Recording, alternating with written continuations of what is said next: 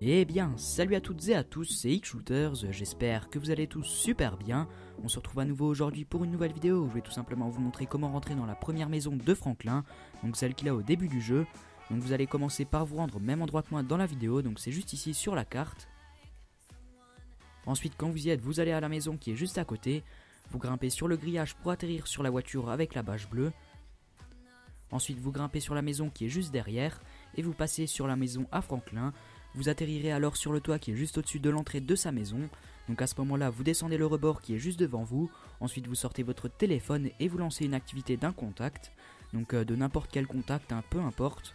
Essayez aussi de bien vous placer comme moi dans la vidéo, sinon le glitch ne marchera pas. Donc quand vous êtes dans l'activité, vous la quittez. Et si tout s'est bien passé, vous réapparaîtrez dans sa maison. Donc euh, elle est assez stylée, mais il y a beaucoup de bordel, je trouve. Donc voilà, moi j'espère en tout cas vraiment que cette vidéo vous aura plu. C'était aussi surtout pour vous présenter ce glitch qui devient rare et que beaucoup de monde oublie, je trouve. Donc n'hésitez pas à laisser un maximum de likes, de dislikes et de commentaires positifs. Donc si vous dislikez, n'hésitez pas à me le dire pourquoi dans les commentaires, ça me ferait vraiment super plaisir et ça m'aiderait à améliorer mes vidéos. Donc n'hésitez pas à venir me suivre sur Twitter, à rejoindre mon crew sur GTA 5 ou alors même m'ajouter sur Skype si vous avez des questions. Tout vous attend dans la description de la vidéo. Donc voilà, moi je vous dis à tous à la prochaine pour de nouvelles vidéos. C'était X Shooters, ciao tout le monde